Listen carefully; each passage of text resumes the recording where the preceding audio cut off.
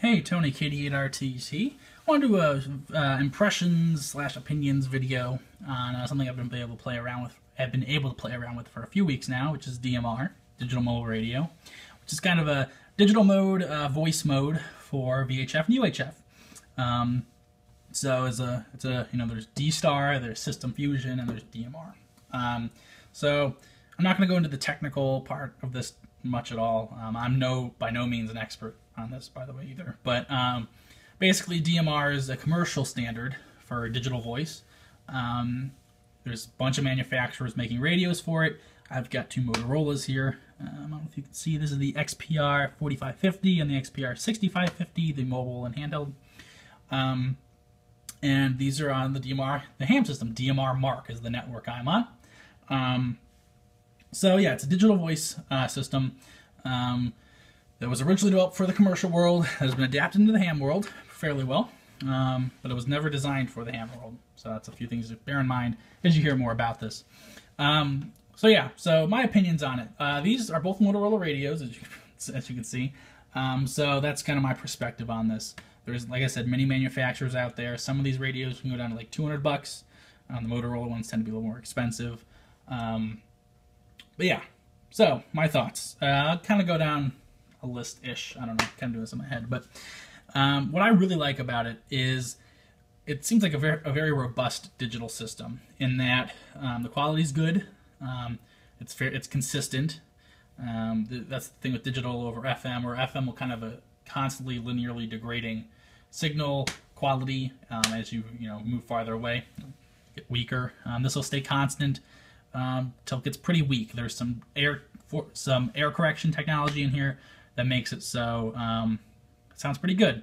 Um, the flip side of that is, is, that there can be little delays sometimes because of that. Um, so especially when you're on the you know worldwide or North America, because um, it's all linked over the internet, there are there can be delays. So that's what's one of the negatives. But I haven't come to that as a big problem. The way I've been using this mostly has been local. So as you can see, I'm on this repeater local. Um, and uh, yeah, so you have to program in all these channels. So you need the programming software on a computer. So I've got three in here right now, all in the same repeater, the local, North America, and the worldwide. Um, so you can have, and there's actually, each repeater actually can have basically two channels. The way it's worked up with the TDMA, it's like having two channels at once. So this has three um, talk groups, but they're not both, they're not, all three are not live at the same time. Um, so like I said, I'm on local right now. I go over to North America. North America's on the same time slot as worldwide. So you, you kind of get to pick between them. Um, but again, I'm not going to go into the specifics of that. But anyway, so I've been using local a lot. Um, and it's worked well. I'm in the Chicago area, so local is like a fairly large area. I like to say it's the tri-state local, so I think it's a little Indiana, Illinois, and uh, Wisconsin. I think it's part of them. I don't think it covers the entire thing, but it's neat because it's like having really good repeater coverage. Um, you can also set these radios up in some areas to roam, where if your repeater drops below a certain strength, it'll go to the next repeater that you know meets a threshold seamlessly, um, which is kind of cool. Uh, so you always kind of have a signal if there's a repeater in range. Um, I haven't played with that yet, but I hear it works fairly well. Um, but yeah, this so this has really good range in general because of out of the structure, the networked structure. Um, so I like that the local and the locals definitely the most popular. Um, I've talked to a bunch of people on local, a few people in North America, I don't think anyone worldwide yet. Um, so those are kind of some things to bear in mind. But it is cool. The, the quality is good. It's really neat to be sitting here, you know, on my couch with a handheld, um, talking around the country. Um, even though it's with the internet, it's kind of. I mean, you have to look at this at a different perspective, in my opinion. Um, I'm a lot of people say this whole digital slash networked ham radio thing is not real ham radio in quotes. Um, I disagree. Um, it's another technology. It's another thing to play with. I mean, you have to enjoy it for what it is. I, I think it's cool. Um, do I still use two meters in my car? Yes, I do. Um, will I continue to? Yes. I, for me personally, this doesn't fill the space of anything else. I like to experiment with a lot of different things. This is a cool technology to play with. And yeah, it's just another option. I, I, I don't like personally, I, in my opinion, I don't I don't like this huge this camp of just like there's just pure ham radio and we have to meet it. I, I, think ham radio is what you make it. You know, if you enjoy a certain part of it, go for it. I, I don't see any problem with it. So I personally like it. Um, also bearing in mind that you can do simplex with DMR. Um, I haven't yet. I don't think it's very common, but there is simplex frequencies for DMR. Um, you can also do a repeater on DMR without being linked to the internet. That's also possible. Um, but there's these major networks. I think I said on DMR-MARC. Uh, there's other ones around the country. Um, that's kind of regional depending on what the repeaters are set up as. You can only access the one on that repeater. Um, but yeah, so there's some, there's some different options. Um, in general, I like it. I, I, think the audio quality is fairly good. I mean, it, it is digital. People, a lot of people complain it sounds robotic and that sort of thing. And and while I agree to an extent, um, yes, if you're right near a repeater, FM probably sounds better. But this just does. I think this just is good because it gives you a nice level playing field within a larger area. Um, FM tends to like decrease linearly in terms of like signal or I guess quality as you you know the signal strength weakens. Where this is fairly constant to a point. Um, and yeah, I mean I think it works really well. I think it's a really robust standard. It's designed well. Um, so I like it. The negatives, other, I mean, there are some cons, I guess. Um, you can say like cost of entry can be a thing. Um, if you get the Motorola gear, especially, especially with the cost of the programming software and the cables and accessories and all that, um, can get quite expensive. And to be honest, programming it from the computer can be kind of a pain. Um, there's guides to do it, and a lot of people will help you. No shortage of that. But it's still a little confusing, especially at first. Um, so you'll probably want someone to help you. I mean, I used the guide and I got through it. Um, but it'd be nice to have someone who's experienced to kind of pass along the knowledge, I think. Um, but yeah, the standard works really well. I think um, it's it's great to just pop on there and talk to some people locally and good signal strength and it's another technology. Um, I haven't played with D-Star System Fusion really, so I can't comment on them um, and really compare them at this point. But I think this is this is cool. Uh, personally, I, I like DMR over those other two just because of the. Uh, now, there's a whole argument to the standards of this, how they're all kind of based around this chip that is somewhat proprietary. It's a huge thing. I don't want to get into that. But there's a lot of manufacturers making DMR radios. Um, there's not, you know, there's only one making D-Star and another making System Fusion. Um, I'm not crazy about the fact that there's like these multiple digital voice standards. Um, I, I, would have rather if you know the ham world had, had been able been able to settle settle on one and go with it. But it is what it is. Um, I, I think this one's cool because there's multiple manufacturers, but there's a trade-off there because this wasn't developed for the ham world. Some of the features aren't, you know, quite there. For instance, you might see if someone comes talks in. I'll probably put some video after this of just listening some conversations, just just to get an audio check for you. But you'll see like a call sign pop up there, or you might just see numbers pop up there, and that's because you have to download a contact list when you program it. You can download it from the internet. Um, that shows that basically every radio has a radio ID to the network. Um, to see their call sign and name, you have to download the contact list. So if you are in a new area where you don't have the contact list, or someone's joined since you downloaded it, you're just going to see their number there, which is not a huge deal. It's kind of cool when you see their name and call sign, but you know it's not something that's been designed. Uh, the fact that there's call signs have not been programmed into the system.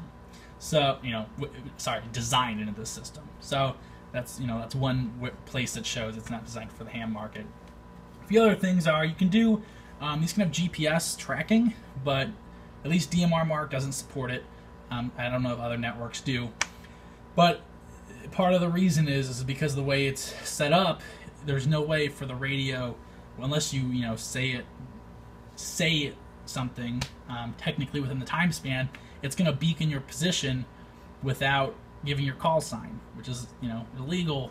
It's not meeting the the uh, the IDing portion. So there's people working on stuff with that, which would be cool to add. But that's just another thing. It's it's not designed for the ham market. Your call sign is not attached to your signal, so you still have to you know legally ID by saying your call sign and all that. Um, yeah. Other than let's see that cost radios ish and the fact that they're commercial and that you have to program them.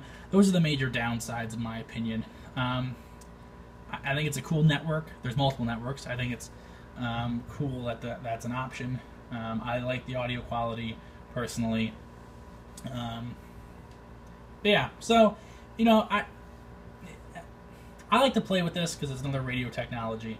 I, I, don't. I'm not, you know, concerned about this quote unquote pure ham radio or future of pure ham radio. I, it's a radio technology that's, you know, it's cool in my opinion, and it's, you know, it's in industry what's going on. So I like playing with it. Um, so with that, I mean, I would recommend uh, trying DMR. If you know somebody, try it. See if you can borrow the radio and and uh, play with it a bit. Um, I can't, you know, say it's the best digital mode. Um, I don't, you know, yeah, I mean, you can't really say that, but it, it works well. I think it's cool technology. I'm going to continue to use it. Um, hopefully, I can use D-Star and, and uh, System Fusion one day. Like I said, I don't own those radios. Love to try them out. Um, be great to get a comparison somehow, you know, a first-hand comparison, but we'll wait on that. But I just want to do a quick video on DMR and say it's a cool standard. I enjoy it. Um, not perfect for the ham world, but it's 100% usable in my opinion. Um, going to continue to use it. So, with that, leave any questions in the comments. Again, I didn't want to get into the technical aspect of this because that's not my expertise. Um, you know, there's lots of stuff on the internet about it, other videos showing the technical side. So, you know, I'd encourage you to look at that. But if you have any questions on my opinion of it, what I've done with it, if you're looking at getting it, have questions, let me know. Um, and I'm going to try to get some footage here of just some some people talking on there, just to see if I can get some audio and and uh, and the display of of a conversation on DMR. So that's about it, guys. Like I said, leave a comment, and I will talk to you later. 73. You know what? Um, I just got headed in my car, and uh, I was picked up my cousin. I needed him to help me move something, and I was just dropping him back off at the house. So had the radio in the car. Figured I'd uh, I heard you, and uh, but other than that, it's been pretty quiet. Yeah, I'm just getting ready to get out of daily here. I'm showing the radio to Bob, V9WLS. He's been around in radio a long, long time, and they're used to digital radios here. The security people use them at the school all the time. So I was demonstrating the radio to Bob. He said he didn't hear anybody on this channel while I was in class for three hours. Yeah, um, I really haven't heard anything, but uh, I was talking to GYC a little bit, and I got to check uh, one of the emails he sent. Um, I think there's another talk group that they're now consi- that's now considered local, and it's not local talk group two; it's local three one six six. So I have that programmed in. I don't really hear anything on that either. So um, they made a whole bunch of changes recently, so I think everybody's kind of been a little displaced. So I'm not sure. Uh, uh, you know, I want to once we get once I get settled after this move, I'll probably uh, revamp the code plug and um, put something together that's more Chicago oriented, more a little more so than Indiana, but I'll still keep Wisconsin, Indiana in there. It'll just be a little farther down the the, the run, and I'll try to get it updated with uh, more of the the current talk groups, and then make some uh, future channels that we could assign talk groups down the road they change and modify things where we won't have to reshuffle the deck on the code plug like we have to do today. So I, I got some things in my mind. I'm just uh, just a matter of getting there. So eventually I'll uh, I'll have something good together for us. So anyway, over to you. Sorry to be uh, rambling on.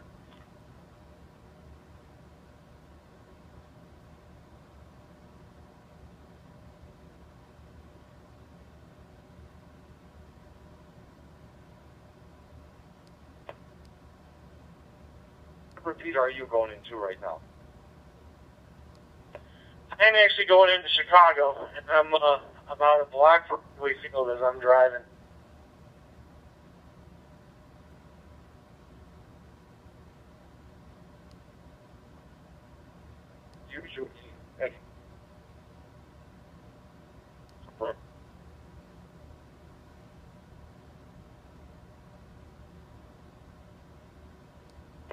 I'm sorry, you were a little broken on that one. Um, what'd you say, Dennis?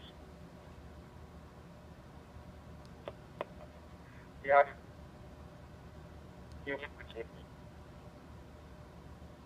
can move this for like 10 minutes. When you're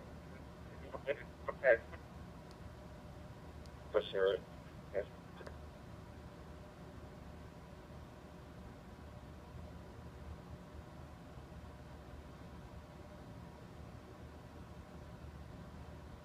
Are you, you, I mean, you just, You were in a great spot when you first called me, and then all of a sudden uh, you kind of, uh, I don't know if you moved locations, but uh, you then kind of were coming, kind of bringing the system up, and then like you were losing it a little bit. Um, I don't know. It could be me too, because I'm in the car uh, just driving around on the north side, and I'm around uh, some taller buildings and stuff. So let me know if uh, you hear me okay now.